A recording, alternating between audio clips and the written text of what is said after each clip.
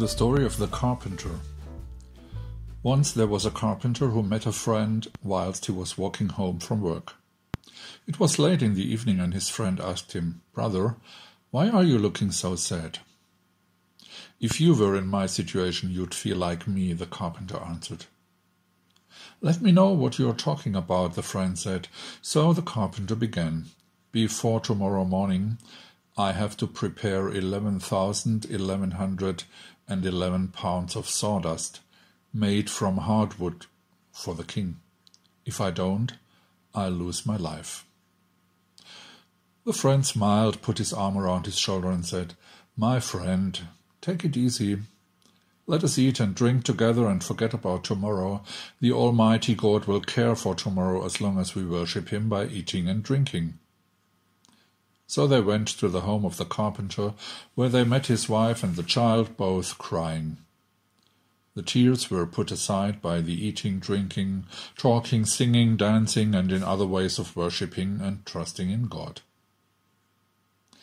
In the middle of the laughter, the carpenter's wife suddenly cried and said, You, my beloved husband, will be killed tomorrow morning, and all of us are enjoying our lives and this party? Trust in God, the carpenter said, and the worshipping went on. They laughed and danced the whole night. This is an Advent story, but it is a very strange and peculiar one. What the carpenter is waiting for is his own execution. And what does he do? He celebrates. His friend has a very strange influence over him. He transformed his grief immediately into an overwhelming joy. He seems to be blind to the reality. So we can understand how his wife reacts. She's really shocked. How can they have fun when facing a disaster? I can feel with her because her tears are saying what I feel as well when I am facing a disaster. When the death of a friend switches off all lights, there is darkness in my heart and soul as well. I feel like this woman.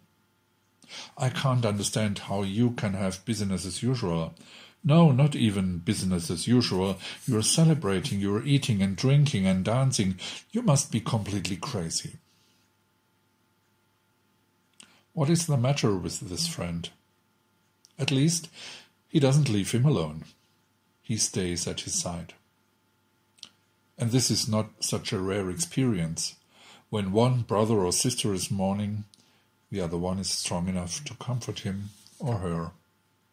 When one brother or sister's plans for life come to nothing, the other one discovers the opportunities that lie in this breakdown.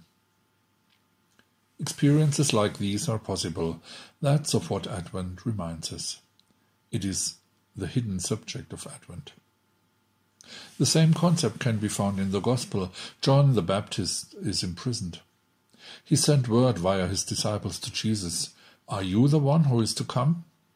Wasn't there the promise of a new king to stop the misery? I can't see it. The answer of Jesus seems to be careless, like the carpenter's friend. Look twice, Jesus says. Something new has already begun. It begins with two or three people who stay together two or three people, that isn't much. Especially not when one of them is blind and another one is deaf and the third one is lame, but two or three. This is an incredible amount more than one who is alone.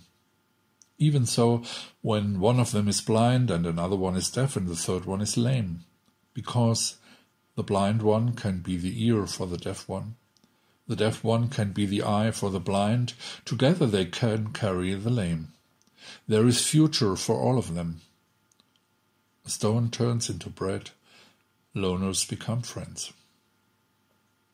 The two or three who stay together, however limited or hurt they are, they can hear the music and see the splendid lights, and they already can begin to celebrate. They can begin to eat and drink and dance. They allow themselves a crack in their hopelessness. Remember the friend in the story. The Almighty God will care for tomorrow. Of course, the story has another ending, and I don't want to withhold it from you. This ending is drastic, but it emphasizes again faith is powerful. When light broke through the darkness and dawn began, everyone stopped talking and laughing and became full of worry. The servants of the king came and knocked on the carpenter's door. The carpenter said, It is time to die now, and opened the door. Carpenter, the servant said, The king has died. Please make a coffin for him. It seems to be a fairy tale, but we can understand what the story wants to say. The evil in the world, the threat that tries to stop us acting, in the end they will lose. It is already time to celebrate. It is time for hope and faith, and it is already time to eat together, to drink and dance, to share bread and wine. It is already time to wait throughout this Advent with all calmness for the coming day and the coming Christ.